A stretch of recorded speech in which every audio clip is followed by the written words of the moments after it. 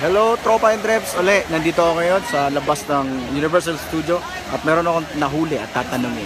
Ah, kung wala iba, ang Mr. Excitement ng AIM Global, Mr. Jan Aspirin. Hi guys! Good morning! Dito kami sa Universal Studios and we're about to go inside.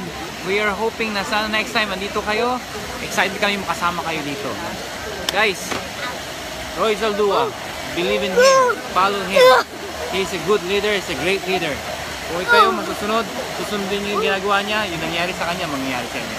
Good morning. Bye-bye. Happy networking, sir. Happy networking.